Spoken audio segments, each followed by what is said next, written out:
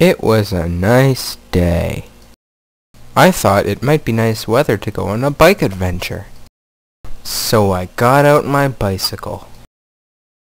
I went to get on it, but my dad was the last one who used it and he raised the seat. I felt mild discomfort. I fell down. But when I got back up, I noticed the bike fell over. So I went to stand it back up. But I never saw the bike again.